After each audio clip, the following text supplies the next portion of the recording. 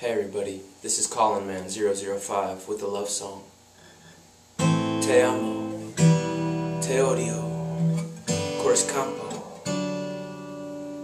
Watching dongs and double dongs is every DFS player's dream. And there's no better place for it to happen if you're into that sort of thing.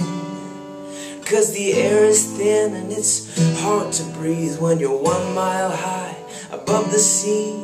Cause curveballs hang and DFS players cheer. And it's all thanks to Coors. No, not the beer. Maybe that too. So fade it at your own risk, but I wouldn't recommend it in cash. And if Kyle Kendricks is pitching, go ahead and stack the opposition's bats. Oh, Coors can be cruel, but if it's on the slate, find the chalk, cause Dan Back says, if you're not playing them in your cash games, you are just going to lose. Now let's take a look at how to capitalize on Coors Field. On research and stats, you should start here.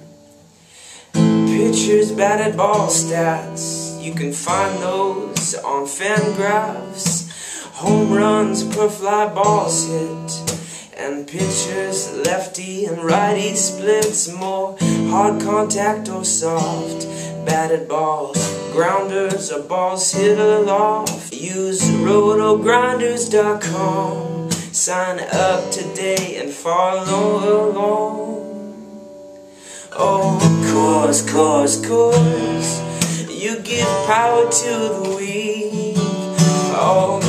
Coors, Coors, Coors, where pitchers lose their sleep. Oh, Coors, Coors, Coors, you make me wanna scream.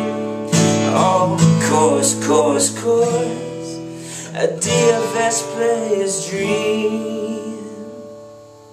Te amo te odio, Coors Campo.